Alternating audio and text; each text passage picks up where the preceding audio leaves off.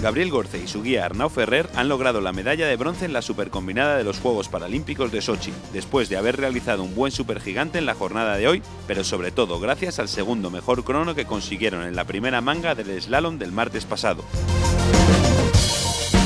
En sus segundos Juegos Paralímpicos, el esquiador catalán con discapacidad visual ha alcanzado su mayor éxito deportivo en el centro alpino Rosa Cutor de Sochi, con esta disputada medalla de bronce. Nos hubiera gustado hacer una plata, pero hemos hecho un bronce y,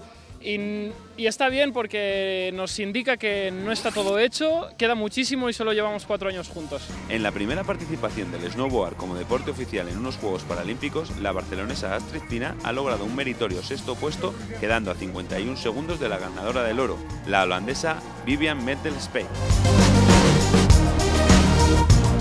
Tiempo total de 2.48, Fina superó todas las expectativas y realizó una primera y tercera mangas muy regulares, lo que le dio la sexta posición y el preciado diploma paralímpico.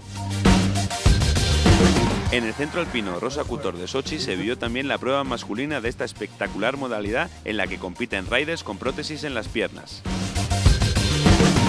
Los españoles que participaron fueron Urco Egea, que terminó en decimoséptima posición, y Aitor Puertas, que se clasificó trigésimo. Con la medalla de hoy, España ya cuenta con tres metales en los Juegos de Sochi, uno de cada color, el oro y la plata de John Santacana y Miguel Galindo, y el bronce de Gorce Ferrer en la supercombinada de hoy.